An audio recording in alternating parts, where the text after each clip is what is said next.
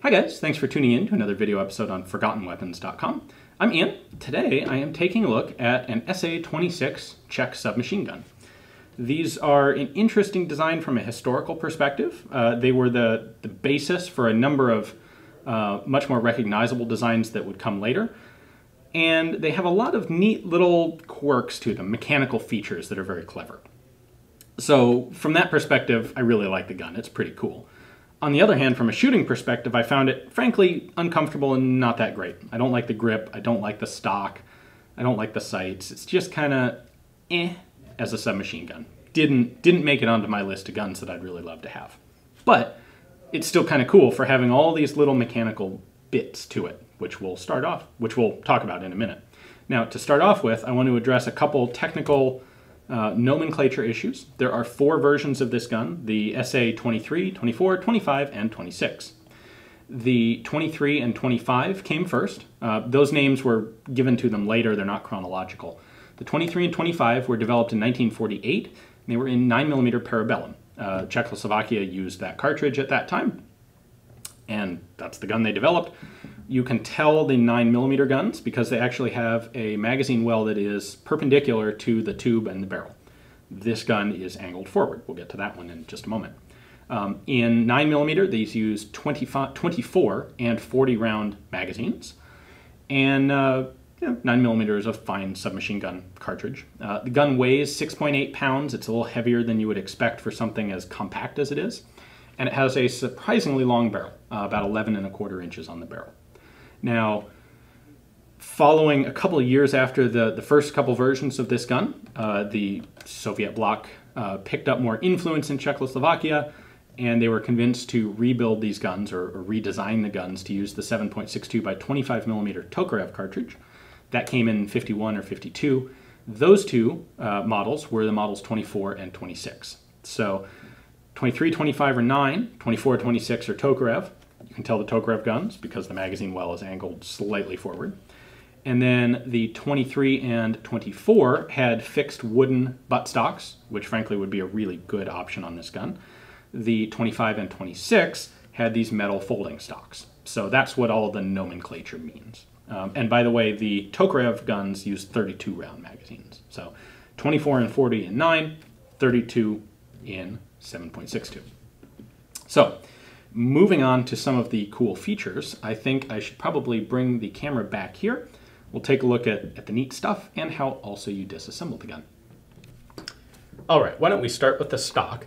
When the stock is folded like this, you actually can use the buttstock portion, or the shoulder support portion, as a vertical front grip to the gun.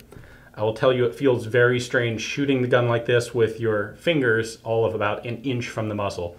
Not confidence inspiring. It's safe, but man, it, it makes you feel kind of awkward. Now, in order to unfold the stock, you have to do a couple of different things. First, we have to push the button here and disconnect the buttstock from this little tab that locks it in place. Then we can fold the stock open. Now to close it, you actually pull the stock backwards. It's spring loaded. Once you pull it back, then you can fold the stock over. Then you again push the button, tilt it forward until it is locked on that little tab. And then you're back in business. So a little bit clumsy, but something you get used to pretty quickly. All right, here is one of the really cool, nifty little clever features of the gun.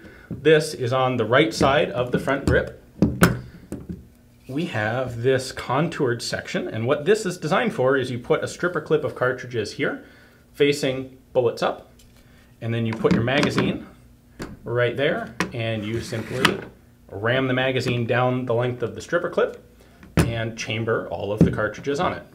It's got a little guide right here that matches this rib on the back of the magazine and also the stripper clip itself. So it's there are two levels here. The stripper clip sits up top, the magazine rides in the very bottom, and that gives you a quick and easy way to reload magazines. Pretty cool.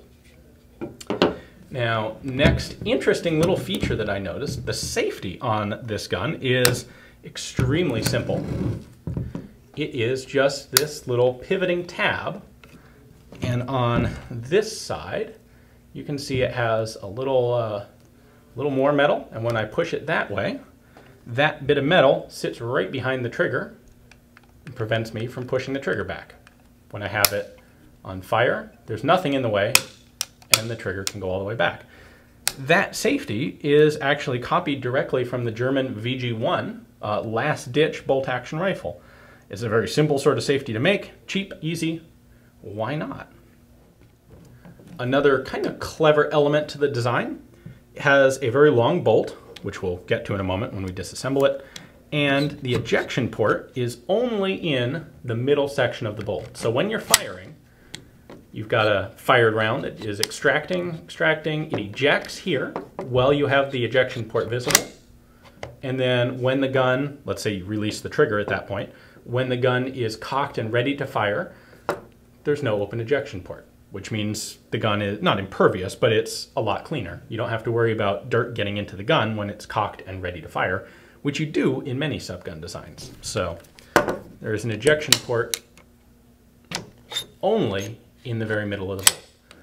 Whether it's forward and empty or back and cocked, receiver sealed up and clean. The sights on this gun are terrible. We have this uh, four position rotating notch marked 1, 2, 3, and 400 meters. That is frankly a joke. We have this massive front post. Uh, you're not making precision shots with this thing, especially with the folding stock. It's just kind of terrible. So why don't we move on to disassembly? It's a very simple gun to disassemble. We're going to start by pushing the button here and rotating this just like 30 degrees. There's an interrupted thread on the back of the receiver tube. Receiver cap comes off.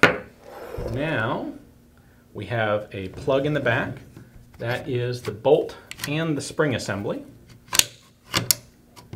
Now you'll notice the bolt handle disappears. It is actually spring-loaded, retracts into the bolt, and the bolt on this gun is a bit unusual. The bolt face is all the way back here, and the rest of the bolt telescopes forward over the barrel. So when you're in firing position, full forward travel of the bolt is right here, and then the bolt reciprocates this far. It has a lot of mass, and it, this was the, the CZ23 slash 26, the whole series here.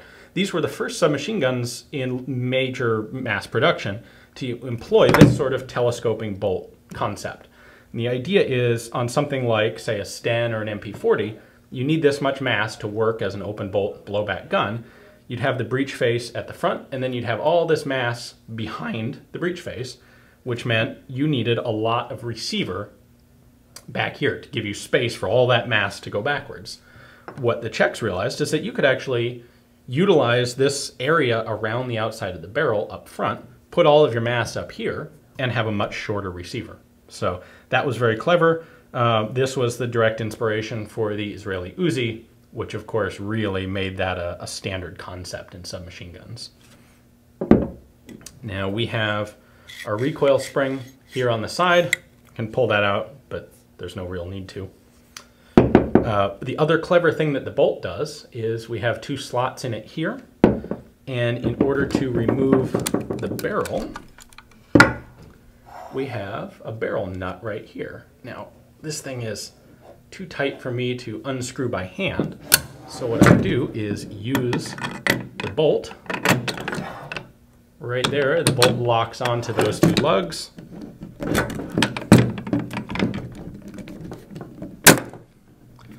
And I can break it free using the bolt as a wrench or a screwdriver. So there's our retaining nut for the barrel.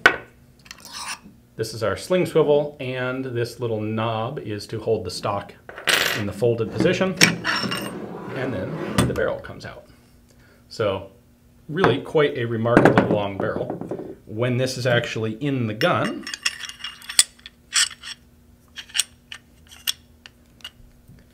that is the setup. So now this particular gun is a post sample. Uh, that the receiver was not particularly well made. The way this is supposed to work is that the charging handle catches on a little ramp in the receiver right here and automatically pops up into place.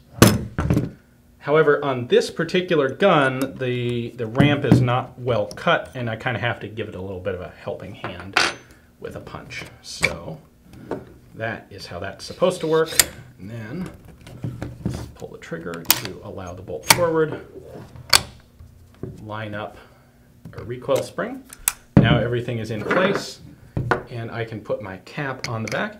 You will notice that the recoil spring is, is captive and so it doesn't try to launch itself out of the gun when you take the rear cap off. That goes on, rotates, I think it's like 30 degrees, snaps in place, and the gun is all ready to use again. So, like I said, a lot of clever mechanical features. Unfortunately, they're all kind of on the periphery. You know, easy disassembly is cool, the loading is cool, some of these little features are cool, but they all put together, they don't really make it all that pleasant or effective of a submachine gun, in my opinion. All right, enough disassembly. Why don't we go out on the range and put a few rounds through this. I should point out, this has a double stack, double feed magazine, which means they're fairly easy to load. Makes it a little bit more complex of a gun to design because it has to be able to pick up cartridges from either side of the magazine but well worth it, and most subgun designers make take that option.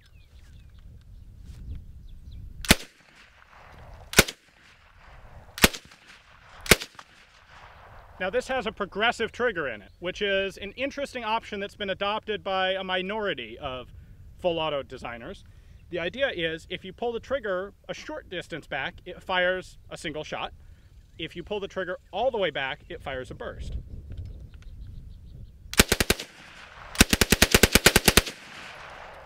It's a really controllable gun. It's heavier than you would expect, and that makes, frankly, for very easy controllability with a little pistol caliber cartridge like we have here. The lack of a separate uh, fire control switch is also a nice feature. You don't have an extra control to deal with, trying to remember which way is semi, which way is full. It's just pull the trigger. If you need to shoot a little, pull the trigger a little. If you need to shoot a lot, pull the trigger a lot. Magazine release is conveniently located on the back of the grip.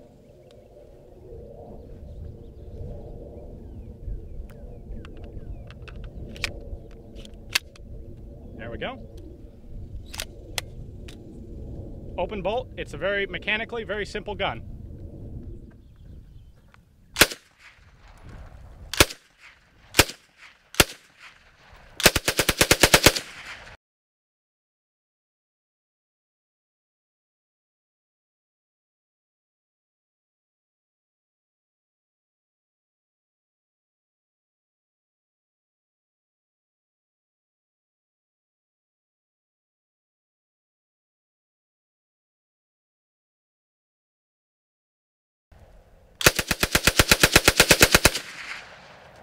This really is a very easy gun to control.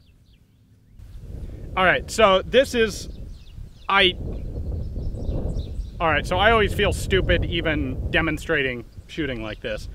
I have the stock folded forward because the, the butt plate, or what passes for a butt plate on this gun, folds down like this, it's usable as a vertical front grip. Now, in theory, you can shoot it kind of with the, the back end of the tube tucked into your chest. You could shoot it out like this. I don't think there's any real good solution, so I'm just gonna go with this one. I'll tell you what, it's kind of a weird sensation to have your hand an inch away from the muzzle like that. Um, it's a good thing this isn't a KSG or I'd be really worried.